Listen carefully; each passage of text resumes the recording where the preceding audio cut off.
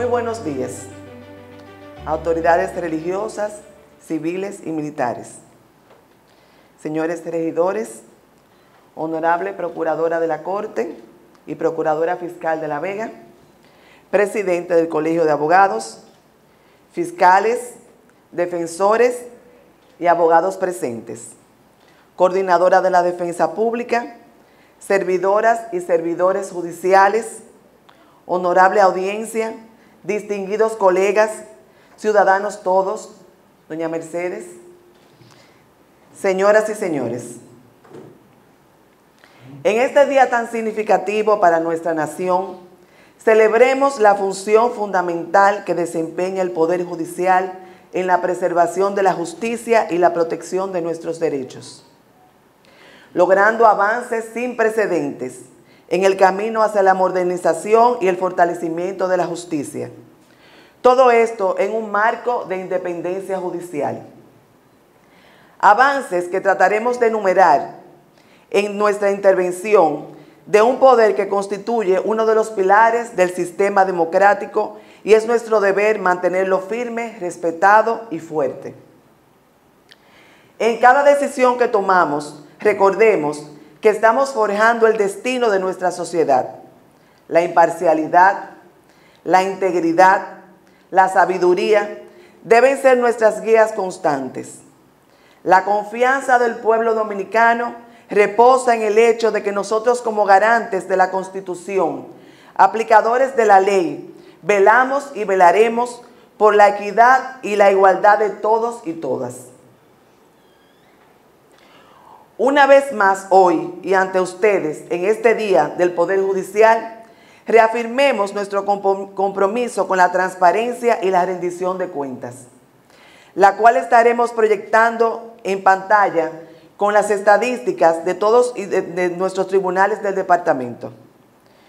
Sigamos trabajando incansablemente por fortalecer las instituciones que sustentan nuestra democracia.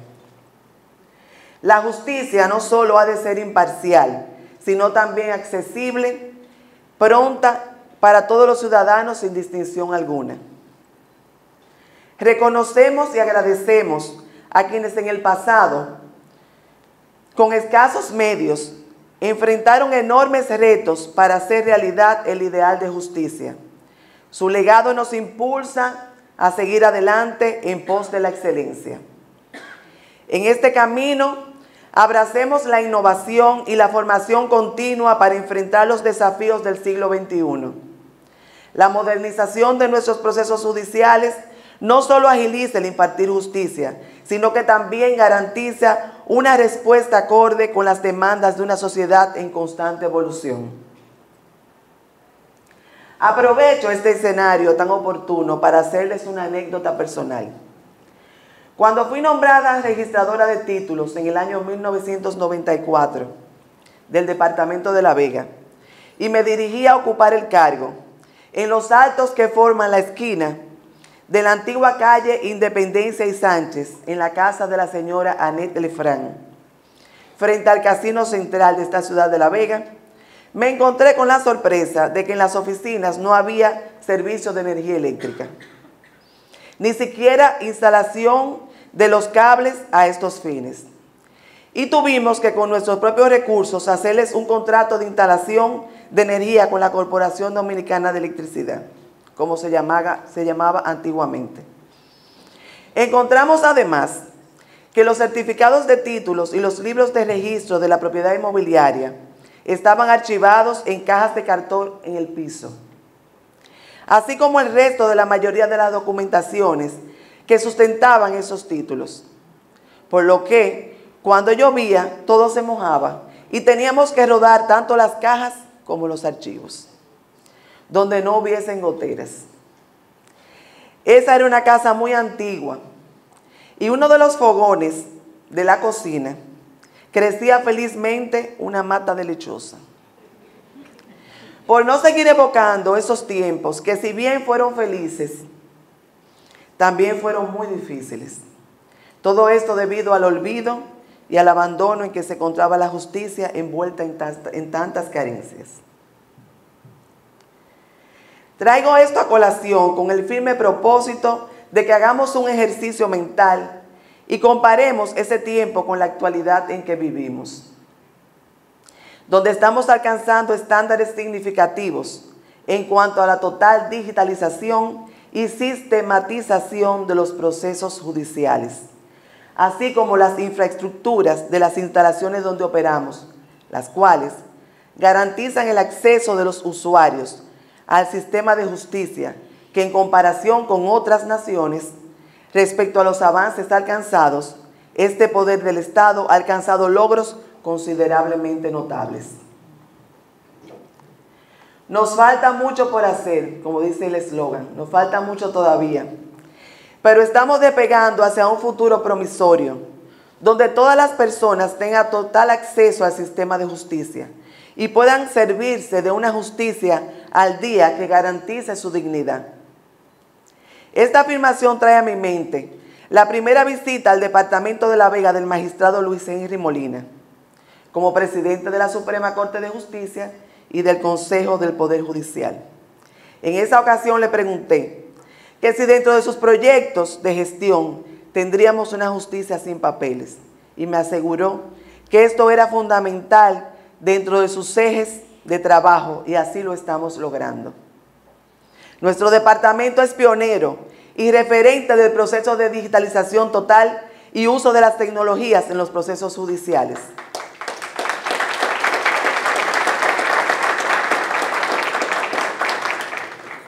Somos el único departamento de los cinco distritos judiciales donde opera cero papel y devolución documental con niveles de satisfacción de los usuarios de un 97%.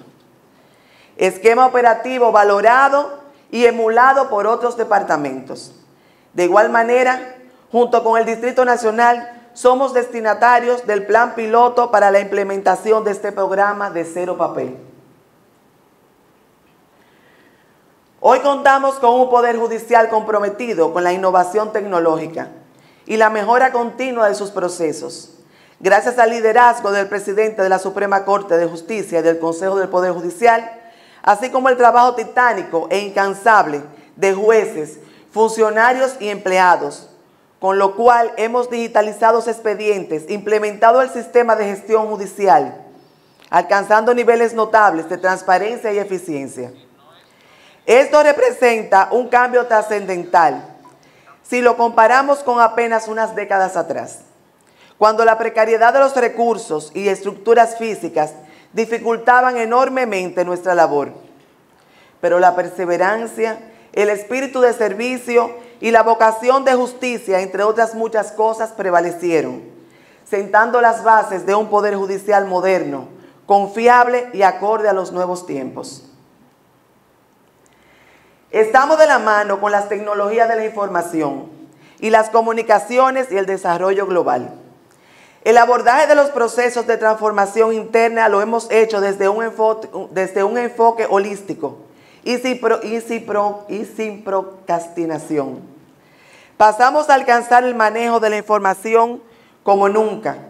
Contamos con archivos digitales, con sistemas de custodia y redundancia especializadas, que garantizan no solo su perpetuidad, sino su seguridad ante cualquier catástrofe natural o ataques informáticos. Esto representa un avance en el fortalecimiento del Poder Judicial, que se traduce en seguridad de la información y documentación de la que esta institución es legalmente custodia y responsable. Acciones como estas son las que forjan las transformaciones institucionales y fortalecen la seguridad jurídica de nuestro país.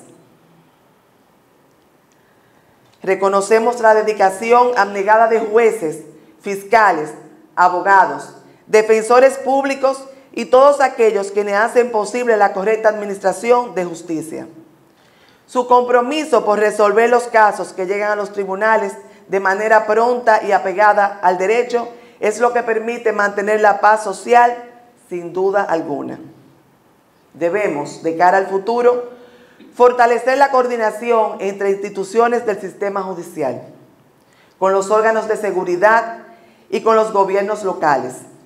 Dígase ayuntamiento, Policía Nacional, Gobernación Provincial, alcaldes pedáneos, bomberos, Cruz Roja, Defensa Civil, Educación y Salud Pública, entre otros, no menos importantes.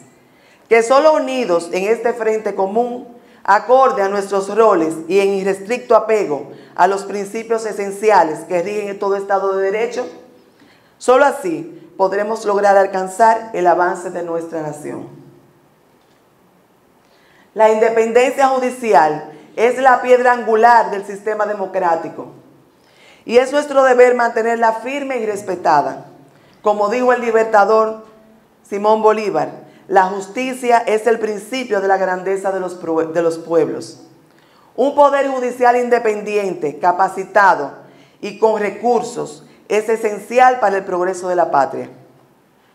Hago un llamado a la ciudadanía a confiar y a colaborar en el sistema de justicia y a los operadores judiciales a actuar con probidad, transparencia y sensibilidad ante los dramas humanos que llegan a sus despachos. La imparcialidad de sus, de sus, decisiones y el trato digno a todos por igual es lo que enaltece la judicatura, trabajando hombro a hombro con las demás instituciones del Estado, seguiremos construyendo una nación más justa, equitativa y próspera para las actuales y futuras generaciones.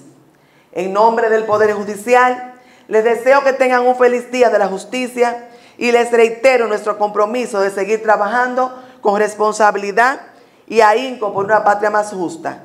Que viva el Poder Judicial de la República Dominicana. Muchas gracias.